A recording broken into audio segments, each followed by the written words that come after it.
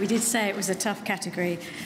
And the winners are Graham Wild, Tim Owens, Kate Hopkins for Blue Planet 2 Coral Reefs.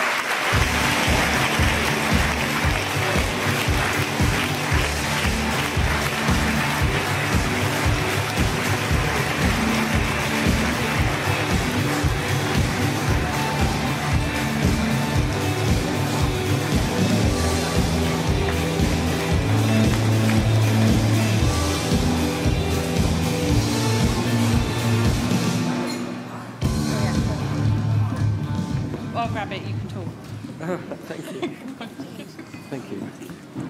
Thanks. Thank you, BAFTA. Thank you, BBC. Thank you, those really incredible people in the Natural History Unit. We'd like to also thank people who've helped our science third, and, uh, and that didn't come out right. I'd like to mention some people who, although we front, the three of us front, there are some others.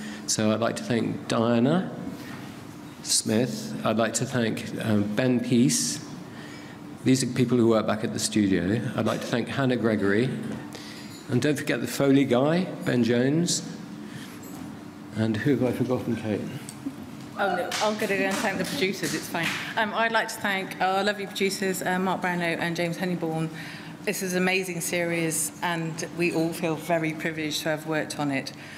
It's done stuff which you could never hope for in the whole kind of idea about kind of thinking about the environment. So thank you to all of them. It's been a privilege. Johnny Crew, the one I forgot. Thank you. Oh,